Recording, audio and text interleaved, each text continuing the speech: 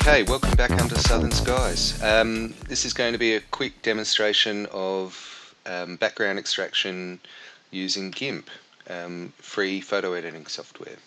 So um, what I have here is a stack um, of um, images taken with a one-shot color camera of Galaxy NGC 1365.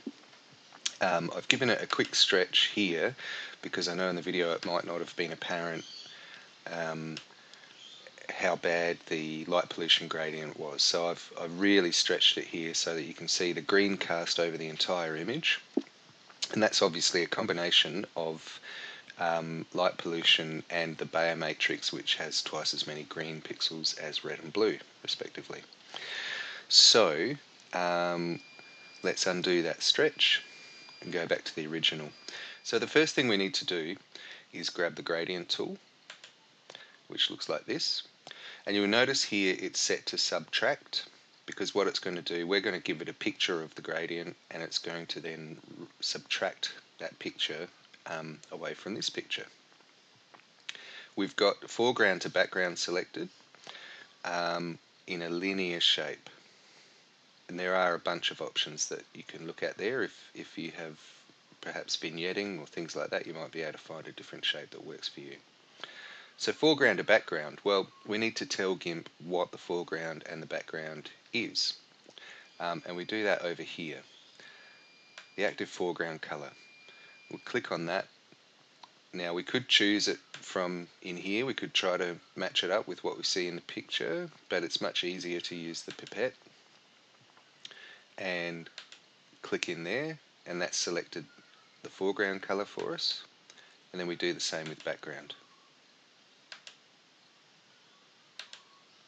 Okay, so now we've told the gradient tool what the gradient is. All that remains is to use the left mouse button, hold it down from one extreme of the gradient to the other as we drag the mouse down to the other extreme. And that looks fairly fairly well corrected to me. So I'm going to let go of the left mouse button and press enter. And that's done a good job of removing most of the background. But to really see it, we're going to need to stretch it again. So I'm going to go back to levels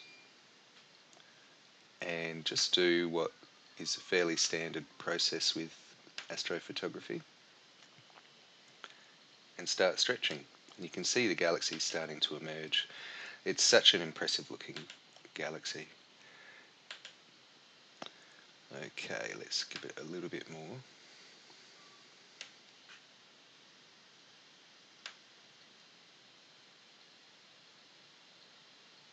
Yeah. Might bring it to there. So, it already is looking a lot better than it was before, if you can remember that massively green original image. And then if we go through and do further processing, um, just as you usually would, um, we'll be able to make further improvements. So perhaps with curves to kind of finish off a bit more of the background. You will notice that it still looks a little bit green. And we can deal with that either in levels or curves. I'll try levels first. I'll grab this green and I'll just take the brightness of the green down a bit. That's looking alright. Apply that. And it actually doesn't look too bad. Um,